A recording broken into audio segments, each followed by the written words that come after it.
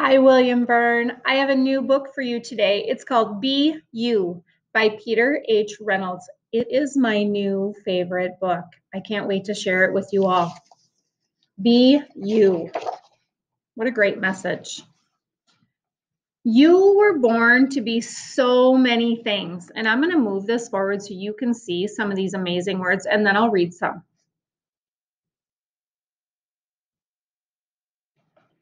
Brave, generous, polite, hopeful, colorful, funny, curious, loving, heroic, patient, optimistic, hungry, active, mindful, persistent, surprising, inventive, excuse me, sweet, cheerful, courageous, respectful, gentle, strong, artistic, brave, that's just some of them. My wish for you, no matter where your journey leads, is for you to always be you. Born to be me is what her shirt says. Be ready to take that next step toward being an amazing human being. Be curious. Turn every stone, ask every why, and keep digging deeply.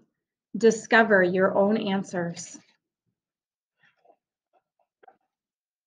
Be adventurous. Live a big life. When you are ready, step outside of your comfort zone.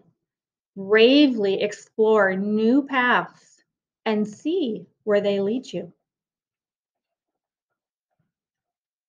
Be connected. Find kindred spirits. Be with those who make you feel like the real you.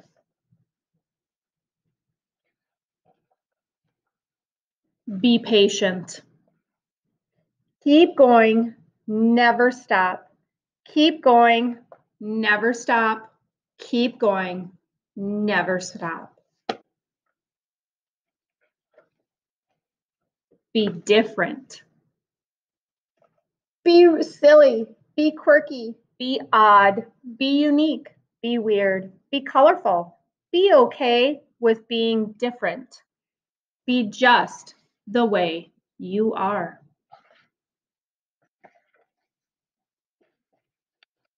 Be kind, be understanding. Help those around you to be themselves. Listen, then listen some more. Learn about who they are. Be brave. Try new things. Take a deep breath and plunge forward into new experiences. It gets easier every time you try. Be your own thinker. Think for yourself and set your own unique course. It isn't always easy, but you'll be heading in the right direction of you. Be okay being alone. This one took some time for Mrs. Hansmann to get used to when my kids went off to college. It was a hard one. And now I'm okay being alone. Take time to be on your own. Hear your own thoughts, your inner voice. Listen to your heart. Be patient. Being more you takes time. Take a deep breath. Relax. Let your future unfold at its own pace. It will be worth the wait. Be okay reaching out for help. When you need a helping hand, a compassionate ear, an encouraging word, reach out. Reach out to your teachers at William Byrne if you need to. We're here for you.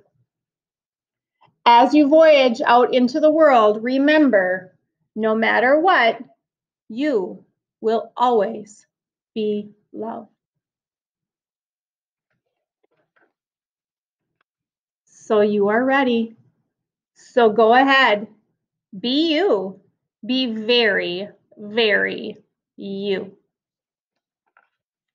I hope you have a great week, William Byrne, and we are all thinking about you here at uh, William Byrne, your staff, your teachers, your your custodians, everybody that's here is here for you.